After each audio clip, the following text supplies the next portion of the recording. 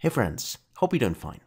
In today's video I'd like to show you one important uh, aspect in the Power Query editor which allows us to import data also if the data structure changes quite easily and more easier than in the former and prior versions.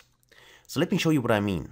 Uh, by the way, the point which I'm trying to make is it's regarding to the pivoting and unpivoting uh, feature in Power BI Desktop. So let's say I want to import some data. I go to Excel in my case, and then I choose my weeks file. Click on open, and then I would see a file in here. Just a second, there's Navigator, my table, which simply contains of various persons in here, and I got some weeks. And you see that this data as a table is pivoted. Pivoted meaning I have here my weeks in various columns, and then I have my data in here. And we all know that this is a structure which is not very good for Power BI. For data analysis, what we want instead is we want to unpivot this data, meaning we want to have all the headers, all the weeks here in one column and all the values in the second column. So to do this, we can simply go to transform and then we just wait. Okay, and here we go. And then we can simply say, okay, I want to unpivot now those three weeks. Now we have two options here. We can either select the three weeks in here, and then we go to transform, and say we want to unpivot columns. This would be one way to do it.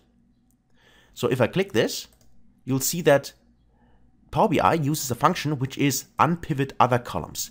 And that's the main point I want to uh, want to say here, want to point out.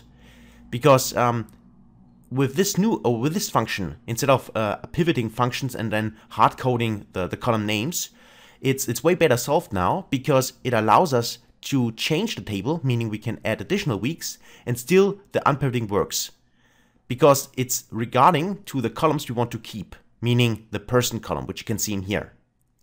And this is the same behavior as if I remove this step, let me just go back, when we start here and say we select the first one and go to unpivot columns and click here and say unpivot other columns.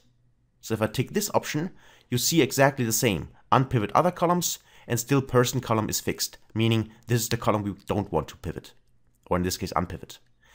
And this is now the same behavior for unpivot the columns and selecting the columns you want to unpivot, or selecting the column you don't want to pivot or unpivot, and then click on unpivot other columns. This was not the case in the past, but now this is uh, here in Power Query solved like that, which is the better option. So it's great that Microsoft actually uh, changed this behavior, because now you can see I got my attributes, I got my values in here, and I got all the weeks in here. And then I can go to home and then I can say, okay, that's the data type, that's fine, that's the attribute, that's fine. I click on close and apply. Let me tick this option here. And uh, then I can actually here take a look at my field list. Um, just a second until the table is loaded. So now it's there. And now I can go to table. I can say, okay, show me the person, uh, show me uh, the attribute, which would be the weeks in here, and then show me simply the value in here now, like that. So that's totally fine. And now if I go to uh, here, for instance, my Excel file, and then say I want to add an additional week, let's say this is week, uh, week number four, and this is just uh, 10, 10, and 10, this for instance. Uh, let's, do, let's do this, let's save this, and let's go back to um, Power BI. And now we're here, and then we can simply go to uh, refresh. If I click on refresh here, let's just wait a second. And here I got an issue. Why is that? This is simply because of the data type properly. So let me just uh, go to, uh, where is it? Uh, my transform data. And then we just check that because the unpivoting works fine. So let me just refresh here and you see that the unpivoting works fine. The issue just is the, the value here, which is currently not set correctly. Let me go to the correct data type. So let me click on, uh, let's say this whole number in here. And if I click, close and apply again, you'll see that now the visual is fixed. But the main point is really that you see that the data itself um, works exactly the same way, even though we modified here the Excel file by adding an additional week, or weeks, could be several weeks as well. Okay, so that's a very important uh, fact that uh, no matter whether you unpivot the selected columns or you uh, unpivot the the other columns both work the same way under the hood. They use the same Power Query function, and this allows us then to do the transformation, and you see that you don't have to then uh, manually uh, adjust everything in your Power Query steps, okay?